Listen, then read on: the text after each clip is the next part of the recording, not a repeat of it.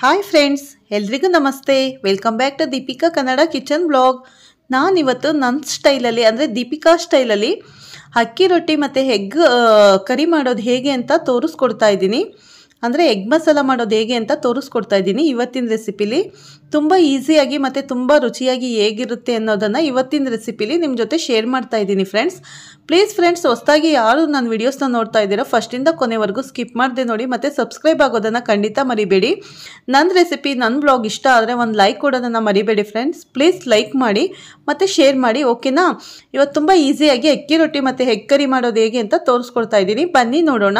ಇದಕ್ಕೆ ಏನೇನು ಇಂಗ್ರೀಡಿಯೆಂಟ್ಸ್ ಬೇಕು ಅಂತ ನೋಡೋಣ ಫ್ರೆಂಡ್ಸ್ ತುಂಬ ಈಸಿಯಾಗಿ ಮಾಡ್ಬೋದು. ನಾನಿಲ್ಲಿ ಒಂದು ಆರಿಂದ ಏಳು ಮೊಟ್ಟೆನ ಬೇಯಿಸ್ಕೊಂಡು ಸಿಪ್ಪೆ ಸುಲಿದ್ಬಿಟ್ಟು ತೊಗೊಂಡಿದ್ದೀನಿ. ಬಾಯ್ಲ್ ಮಾಡಿದ್ದೀನಿ. ಮತ್ತು ಇದಕ್ಕೆ ಏನೇನು ಮಸಾಲೆ ಇಂಗ್ರೀಡಿಯೆಂಟ್ಸ್ ಬೇಕು ಅಂತ ನೋಡೋಣ. ಹಸಿಮೆಣಸಿಕಾಯಿ ಒಂದೆರಡು. ಉಪ್ಪು, ರುಚಿಗೆ ಶುಂಠಿ ಬೆಳ್ಳುಳ್ಳಿ ಪೇಸ್ಟ್ ಒಂದು ಸ್ಪೂನ್ ಅರ್ಧ ಟೀ ಸ್ಪೂನ್ ಅರಿಶಿಣ, ಒಂದೆರಡು ಈರುಳ್ಳಿ ಈ ರೀತಿ ಸಣ್ಣಗೆ ಹೆಚ್ಕೊಂಡಿದ್ದೀನಿ. ಟೊಮೊಟೊ ಪ್ಯೂರಿ ಒಂದೆರಡು. ಟೊಮೊಟೊನ ಗ್ರೈಂಡ್ ಮಾಡಿದ್ದೀನಿ. ಕಸ್ತೂರಿ ಮೇಥಿ ಒಂದು ಸ್ಪೂನು ಕೊತ್ತಂಬರಿ ಸೊಪ್ಪು, ಧನಿಯಾ ಪೌಡರ್, ಗರಂ ಮಸಾಲ ಪೌಡರ್ ಒಂದು ಸ್ಪೂನು, ಚಿಲ್ಲಿ ಪೌಡರ್ ಖಾರಕ್ಕೆ. ಬನ್ನಿ ಈಗ ಈ ಎಗ್ ಕರಿ ಮಾಡೋದು ಹೇಗೆ ಅಂತ ನೋಡೋಣ. ಮೊದಲಿಗೆ ನಾನಿಲ್ಲಿ ಮೊಟ್ಟೆನ ಈ ರೀತಿ ಫೋರ್ಕಲ್ಲಿ, ಸ್ಪೂನಲ್ಲಿ ಈ ರೀತಿ ಪ್ರೆಸ್ ಮಾಡ್ತಾ ಇದ್ದೀನಿ. ಯಾಕಂದರೆ ಇದಕ್ಕೆ ಉಪ್ಪು, ಖಾರ ತುಂಬ ಚೆನ್ನಾಗಿ ಹಿಡಿಬೇಕು ಅಂದರೆ ಫೋರ್ಕಿಂದ ಈ ರೀತಿ ಮಾಡ್ಕೊಳ್ಳಿ ಮೊಟ್ಟೆಗೆ, ಬೇಯಿಸಿರೋ ಮೊಟ್ಟೆಗೆ. ತುಂಬ ಚೆನ್ನಾಗಿ ಟೇಸ್ಟ್ ಇರುತ್ತೆ ಮೊಟ್ಟೆ ತಿನ್ನೋದಕ್ಕೆ. ಈ ರೀತಿ ಮಾಡಿಕೊಂಡು ನಂತರ ನಾವು ಇದನ್ನು ಮೊಟ್ಟೆನ ಫ್ರೈ ಮಾಡಬೇಕು.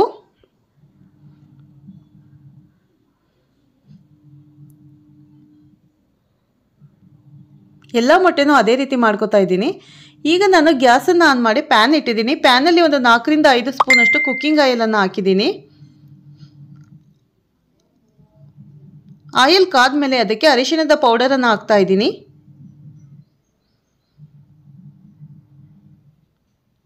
Chilli powder.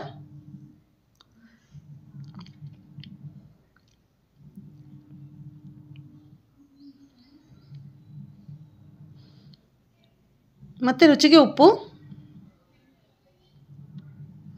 ಮೊಟ್ಟೆ ಫ್ರೈ ಮಾಡಿದ ಮಾಡೋದಕ್ಕೆ ಇದನ್ನು ನಾನು ಫ್ರೈ ಎಣ್ಣೆಲಿ ಫ್ರೈ ಮಾಡ್ತಾ ಇದ್ದೀನಿ ಮಾಡ್ತಾ ಇದ್ದೀನಿ. ಸ್ಪೈಸಿ ಪೌಡರ್ಸನ್ನು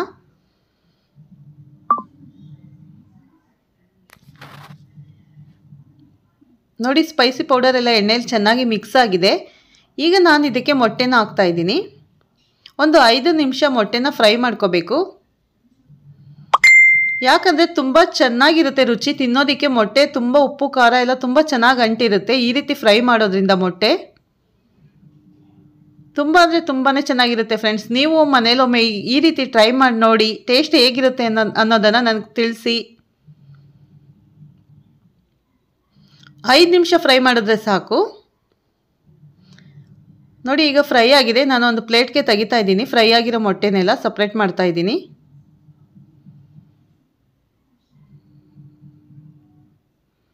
ಇದು ಚಪಾತಿಗೆ, ರೊಟ್ಟಿಗೆ ಅನ್ನಕ್ಕೂ ಕೂಡ ಚೆನ್ನಾಗಿರುತ್ತೆ. ತುಂಬ ಒಳ್ಳೆ ಕಾಂಬಿನೇಷನ್ನು ಪೂರಿ ಎಲ್ಲ ಮಾಡ್ಬೋದು ಇದಕ್ಕೆ. ಎಕ್ಕರಿಗೆ, ರೈಸ್ ಕೂಡ ಚೆನ್ನಾಗಿರುತ್ತೆ.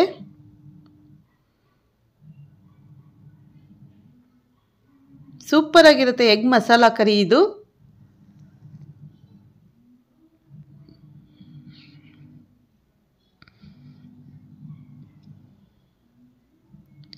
ನೋಡಿ, ಈಗ ನಾನು ಅದೇ ಪ್ಯಾನ್ಗೆ ಜೀರಿಗೆನ ಹಾಕ್ತಾ ಇದ್ದೀನಿ, ಅದೇ ಆಯಿಲ್ಗೆ. ಮೊಟ್ಟೆನ ಫ್ರೈ ಮಾಡಿದ್ವಲ್ಲ, ಅದೇ ಆಯಿಲ್ಗೆ ಒಂದು ಸ್ಪೂನಷ್ಟು ಜೀರಿಗೆ ಹಾಕ್ತಾ ಇದ್ದೀನಿ. ಜೀರಿಗೆ ಸಿಡಿದ್ಮೇಲೆ ಈರುಳ್ಳಿನ ಹಾಕ್ತಾ ಇದ್ದೀನಿ. ಈ ರೀತಿ ಸಣ್ಣ ಸಣ್ಣಗೆ ಕಟ್ ಕಟ್ ಮಾಡ್ಕೋಬೇಕು ಈರುಳ್ಳಿನ. ಈರುಳ್ಳಿ ಸ್ವಲ್ಪ ಫ್ರೈ ಮಾಡ್ಕೋಬೇಕು, ಬ್ರೌನ್ ಆಗೋವರೆಗೂ ಫ್ರೈ ಮಾಡ್ಕೋಬೇಕು.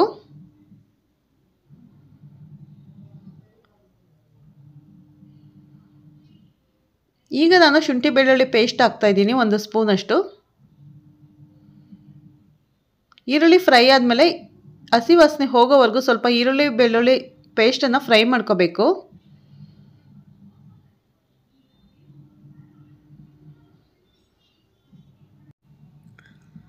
ಈರುಳ್ಳಿ ಮತ್ತು ಶುಂಠಿ ಬೆಳ್ಳುಳ್ಳಿ ಪೇಸ್ಟ್ ಫ್ರೈ ಫ್ರೈ ಆದಮೇಲೆ ನಾನು ಇದಕ್ಕೆ ಹಸಿಮೆಣ್ಸಿಕಾಯಿನ ಸೇರಿಸ್ತಾ ಇದ್ದೀನಿ ಖಾರಕ್ಕೆ. ನೀವು ಬೇಕು ಅಂದರೆ ಹಾಕಿ ಹಸಿಮೆಣ್ಸಿಕಾಯಿ ಬೇಡ ಅನ್ನೋರು ಸ್ಕಿಪ್ ಮಾಡ್ಕೊಳ್ಳಿ. ಅಂದರೆ ಸ್ಪೈಸಿ ಆಗಿರುತ್ತೆ ಈ ರೀತಿ ಹಸಿಮೆಣ್ಸಿನ್ಕಾಯಿ ಹಾಕೋದ್ರಿಂದ ಖಾರ ಖಾರವಾಗಿ ತುಂಬ ಚೆನ್ನಾಗಿರುತ್ತೆ. ಈಗ ನಾನು ಒಂದು ಸ್ಪೂನಷ್ಟು ಧನಿಯಾ ಪೌಡರನ್ನು ಸೇರಿಸ್ತಾ ಇದ್ದೀನಿ. ಮತ್ತು ಒಂದು ಸ್ಪೂನ್ ಚಿಲ್ಲಿ ಪೌಡರ್ ಹಸಿಮೆಣ್ಸಿನ್ಕಾಯಿ ಕೂಡ ಹಾಕಿರ್ತೀವಿ. ಚಿಲ್ಲಿ ಪೌಡರನ್ನು ನೋಡ್ಕೊಂಡು ಹ್ಯಾಡ್ ಮಾಡಿ ಫ್ರೆಂಡ್ಸ್ ಖಾರ ಆಗುತ್ತೆ. ರುಚಿಗೆ ಉಪ್ಪು. ಚೆನ್ನಾಗಿ ಈ ರೀತಿ ಮಿಕ್ಸ್ ಮಾಡ್ಕೋಬೇಕು.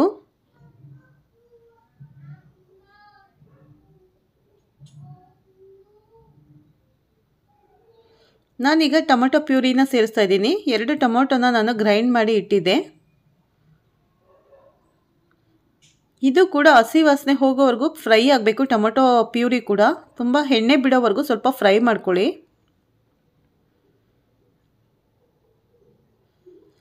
ನಾನಿಲ್ಲಿ ಬೇಸನ್ ಪೌಡರನ್ನು ತೊಗೊಂಡಿದ್ದೀನಿ. ಅಂದರೆ ಕಡಲೆ ಹಿಟ್ಟು ಬೋಂಡ ಮಾಡ್ತೀವಲ್ಲ, ಆ ಕಡಲೆ ಹಿಟ್ಟನ್ನು ಒಂದು ಸ್ಪೂನ್ ತೊಗೊಂಡಿದ್ದೀನಿ. ನಮಗೆ ಗ್ರೇವಿ ಸ್ವಲ್ಪ ತಿಕ್ನೆಸ್ ಬೇಕು ಅಂದರೆ ಈ ರೀತಿ ಕಡಲೆ ಹಿಟ್ಟನ್ನು ನೀರಲ್ಲಿ ಕಲಸಿ ಹಾಕಿದ್ರೆ ತುಂಬ ರುಚಿಯಾಗೂ ಕೂಡ ಇರುತ್ತೆ. ಮತ್ತು ಗ್ರೇವಿ ತುಂಬ ಗಟ್ಟಿಗಿರುತ್ತೆ. ಚಪಾತಿ ರೊಟ್ಟಿಗೆಲ್ಲ ತುಂಬ ಚೆನ್ನಾಗಿ ಹೊಂದ್ಕೊಳ್ಳುತ್ತೆ ಫ್ರೆಂಡ್ಸ್ ಈ ರೀತಿ ಮಿಕ್ಸ್ ಮಾಡಿಕೊಂಡು ಇದನ್ನು ಸೇರಿಸ್ಬೇಕು.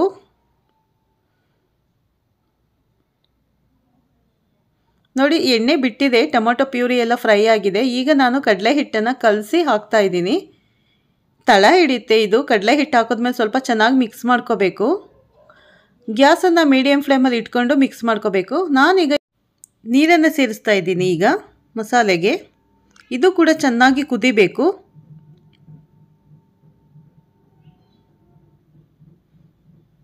ನಾವು ತಿಕ್ನೆಸ್ ಎಷ್ಟು ಬೇಕೋ ಅಷ್ಟು ನೋಡಿಕೊಂಡು ನೀರನ್ನು ಆ್ಯಡ್ ಮಾಡಬೇಕು. ಈಗ ಚೆನ್ನಾಗಿ ಮಸಾಲೆ ಕುದಿ ಕುದಿ ಬರಬೇಕು. ಒಂದು ಕುದಿ ಬರೋವರೆಗೂ ಕುದಿಸ್ಬೇಕು ಇದನ್ನು. ಪ್ಲೇಟನ್ನು ಮುಚ್ಚಿ ಕುದಿಸ್ತಾ ಇದ್ದೀನಿ ನಾನು. ಮತ್ತು ಒಂದು ಕಡೆ ನಾನು ನೀರನ್ನು ಇಟ್ಟಿದ್ದೀನಿ ಕಾಯೋದಕ್ಕೆ. ಅಂದರೆ ರೊಟ್ಟಿ ಹಾಕೋದಕ್ಕೆ ಬಿಸಿನೀರಲ್ಲಿ ಹಿಟ್ಟನ್ನು ಕಲಿಸ್ಕೋಬೇಕು. ನೀರಿಗೆ ಒಂದು ಸ್ಪೂನಷ್ಟು ಉಪ್ಪನ್ನು ಸೇರಿಸ್ತಾ ಇದ್ದೀನಿ. ನೋಡಿ ಈಗ ಇದು ಮಸಾಲೆ ಎಲ್ಲ ತುಂಬ ಚೆನ್ನಾಗಿ ಕುದೀತಾ ಇದೆ. ಈಗ ನಾನು ಕೊನೆಯಲ್ಲಿ ಮೊಟ್ಟೆನ ಸೇರಿಸ್ತಾ ಇದ್ದೀನಿ.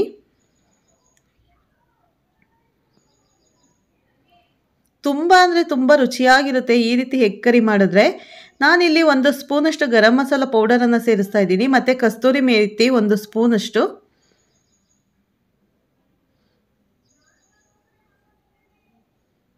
ಚೆನ್ನಾಗಿ ಮಿಕ್ಸ್ ಮಾಡ್ಕೋಬೇಕು.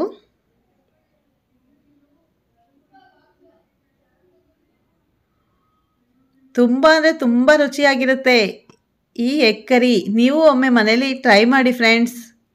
ಹೇಗಿತ್ತು ಅನ್ನೋದನ್ನು ನನಗೆ ಕಮೆಂಟ್ ಸೆಕ್ಷನಲ್ಲಿ ತಿಳಿಸಿ. ಒಂದು ಸತಿ ತಿಂದವರು ಮತ್ತೆ ಮತ್ತೆ ತಿನ್ನಬೇಕು ಅಂತಾರೆ. ಆ ರೀತಿಯಾಗಿರುತ್ತೆ ಈ ಟೇಸ್ಟ್ ಈ ದೀಪಿಕಾ ಸ್ಟೈಲಲ್ಲಿ ಎಕ್ಕರಿ. ಕೊನೆಯಲ್ಲಿ ಕೊತ್ತಂಬರಿ ಸೊಪ್ಪನ್ನು ಹಾಕ್ತಾ ಇದ್ದೀನಿ.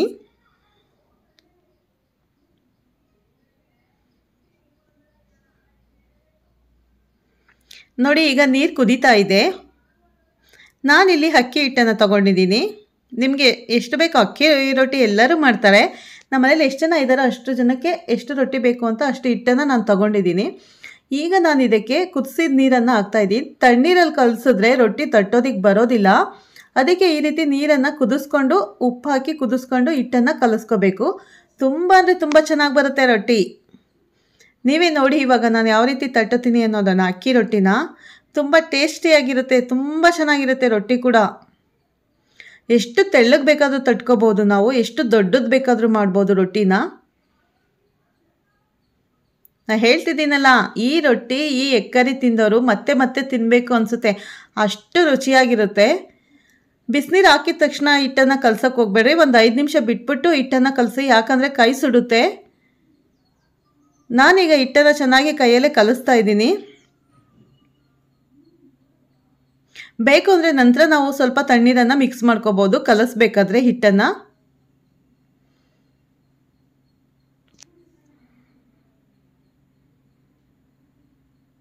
ನೋಡಿ, ನಾನು ಹಿಟ್ಟನ್ನು ಕಲಿಸ್ಕೊಂಡು ಆಗಿದೆ. ನೋಡಿ, ಎಷ್ಟು ಸಾಫ್ಟ್ ಆಗಿದೆ ಅಂದರೆ ಹತ್ತಿ ಥರ ಬರಬೇಕು. ಈ ರೀತಿ ಇರಬೇಕು ಹಿಟ್ಟು.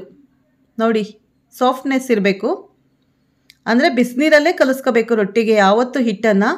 ನಾನೀಗ ಹೆಂಚು ಕಾಯೋದಕ್ಕೆ ಇಟ್ಟಿದ್ದೀನಿ ರೊಟ್ಟಿ ಮಾಡೋದಕ್ಕೆ. ಹೆಂಚು ಕೂಡ ಚೆನ್ನಾಗಿ ಕಾದಿರಬೇಕು, ರೊಟ್ಟಿ ಮಾಡಬೇಕು ಅಂದರೆ ಫಸ್ಟೇ ಒಂದು ಐದು ನಿಮಿಷ ಮುಂಚೆ ರೊಟ್ಟಿ ತಟ್ಟೋದಕ್ಕೂ ಮುಂಚೆ ಹೆಂಚನ್ನು ಇಟ್ಕೋಬೇಕು. ನಾನು ಈ ರೀತಿ ಕೈಯಲ್ಲೇ ತಡ್ತಾ ಇದ್ದೀನಿ. ನಾನಿಲ್ಲಿ ಮನೆ ಮೇಲೆ ತಡ್ತಾ ಇಲ್ಲ ಸೆಲ್ಫ್ ಇದೆಯಲ್ಲ ನಮ್ಮ ಕಿಚನಲ್ಲಿ ನಾನು ಅದನ್ನು ಕ್ಲೀನಾಗಿ ನೀಟಾಗಿ ವಾಶ್ ಮಾಡಿರ್ತೀನಿ ಡೈಲಿ ವಾಶ್ ಮಾಡ್ತೀನಿ. ಅದ್ರ ಮೇಲೆ ತಡ್ತಾ ಇದ್ದೀನಿ. ನನಗೆ ಮಣೆ ಮೇಲೆ ತಟ್ಟೋದಕ್ಕೆ ಅಂದರೆ ಬರೋಲ್ಲ ಅಂತಲ್ಲ, ಮಣೆ ಮೇಲೆ ತುಂಬ ಚಿಕ್ಕದಾಗಿ ಬರುತ್ತೆ. ನಮಗೆ ತುಂಬ ದೊಡ್ಡ ರೊಟ್ಟಿ ಬೇಕು ಅಂದರೆ ನಾನು ಈ ರೀತಿನೇ ತಟ್ಟೋದು ನೋಡಿ. ಎಷ್ಟು ಚೆನ್ನಾಗಿ ಬಂದಿದೆ ಅಂತ, ಎಷ್ಟು ದೊಡ್ಡದು ಬೇಕಾದರೂ ಮಾಡ್ಕೋಬೋದು. ಕಿತ್ತೋಗಲ್ಲ, ಸ್ವಲ್ಪನೂ ಕಿತ್ತೋಗಲ್ಲ. ಬಿಸಿನೀರಲ್ಲಿ ಹಿಟ್ಟನ್ನು ಕಲಿಸೋದ್ರಿಂದ ಟ್ರೈ ಮಾಡಿ. ಖಂಡಿತ ಯಾರು ರೊಟ್ಟಿ ಮಾಡೋಕ್ಕೆ ಬರಲ್ಲ ಅಂತಾರೋ ಅಂಥವ್ರು ಕೂಡ ಮಾಡ್ಬೋದು ಈ ರೀತಿ ರೊಟ್ಟಿನ ಫ್ರೆಂಡ್ಸ್ ಯಾವ ರೀತಿ ಅಂತ ಈಸಿಯಾಗಿ ತೋರಿಸ್ಕೊಟ್ಟಿದ್ದೀನಿ ನೀವೇ ನೋಡ್ತಿದ್ದೀರ ನನ್ನ ಕೈಯಲ್ಲೇ ತಟ್ಟಿದ್ದೀವಾಗ ಈಗ ನಾನು ಹೆಂಚು ಕಾದಿದೆ, ಹಾಕ್ತಾ ಇದ್ದೀನಿ ರೊಟ್ಟಿನ. ಹೆಂಚು ಎಷ್ಟಾಗ್ಲ ಇದೆಯೋ ಅಷ್ಟಾಗ್ಲ ರೊಟ್ಟಿ ಕೂಡ ಹಾಕ್ತೀನಿ ನಾನು. ರೊಟ್ಟಿ ಮಾಡೋದ್ರಲ್ಲಿ ಎಕ್ಸ್ಪರ್ಟ್ ನಾನು. ಅಕ್ಕಿ ರೊಟ್ಟಿ, ಜೋಳದ ರೊಟ್ಟಿ, ರಾಗಿ ರೊಟ್ಟಿ ಎಲ್ಲ ರೊಟ್ಟಿನೂ ಮಾಡ್ತೀನಿ. ನಮ್ಮನೇಲಿ ಎಲ್ಲ ರೊಟ್ಟಿನೂ ತಿಂತೀವಿ. ತುಂಬ ಚೆನ್ನಾಗಿರುತ್ತೆ ರೊಟ್ಟಿ ಅಂದರೆ ತುಂಬ ಇಷ್ಟ ನಮಗೆ. ಹೆಂಚು ಕಾದ್ಮೇಲೇ ಹಾಕಬೇಕು ರೊಟ್ಟಿನ. ಒಂದು ಐದು ನಿಮಿಷ ಬಿಸಿಯಾಗಿರಬೇಕು ಹೆಂಚು ನೋಡಿ ಒಂದು ಸೈಡು ಬೆಂದಿದೆ ಈಗ. ಹಿಟ್ಟು ಹಾಕೊಂಡು ತಟ್ಟಿರ್ತೀವಲ್ವ? ಅದಕ್ಕೋಸ್ಕರ ನಾವು ಈ ರೀತಿ ನೀರನ್ನು ಹಾಕೋಬೇಕು ರೊಟ್ಟಿ ಮೇಲೆ ಸ್ವಲ್ಪ.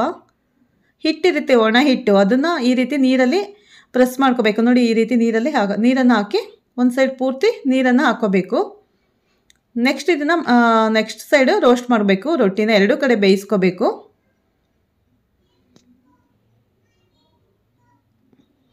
ನೋಡಿ, ಈಗ ನಾನು ಒಂದು ಸೈಡ್ ತಿರುಗಿಸಿದ್ದೀನಿ ಒಂದು ಸೈಡ್ ರೋಸ್ಟ್ ಆಗಿದೆ. ನೋಡ್ತಾ ಇದ್ದೀರಲ್ಲ, ಎಷ್ಟು ಚೆನ್ನಾಗಿ ಬಂದಿದೆ ಅಂದರೆ ಎಲ್ಲಿ ಒಂಚೂರು ಕಿತ್ತೋಗಲ್ಲ ಫ್ರೆಂಡ್ಸ್ ಈ ರೀತಿ ರೊಟ್ಟಿ ಮಾಡಿದ್ರೆ. ಎರಡೂ ಕಡೆ ಚೆನ್ನಾಗಿ ರೋಸ್ಟ್ ಮಾಡ್ಕೋಬೇಕು ರೊಟ್ಟಿನ.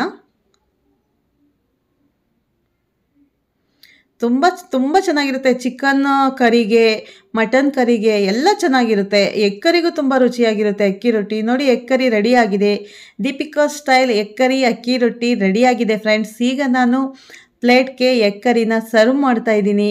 ಪ್ಲೀಸ್ ಯಾರೆಲ್ಲ ನೋಡ್ತಾ ಇದ್ದೀರಾ ನನ್ನ ವೀಡಿಯೋಸ್ನ ಒಂದು ಲೈಕ್ ಕೊಡೋದನ್ನು ಖಂಡಿತ ಮರಿಬೇಡಿ. ನಿಮ್ಮ ಫ್ರೆಂಡ್ಸ್ಗೆ ರಿಲೇಟಿವ್ಸ್ಗೆ ಶೇರ್ ಮಾಡೋದು ಕೂಡ ಮರಿಬೇಡಿ ಫ್ರೆಂಡ್ಸ್ ಬನ್ನಿ, ರೊಟ್ಟಿ ಮತ್ತು ಹೆಕ್ಕರಿನ ತಿನ್ನೋಣ.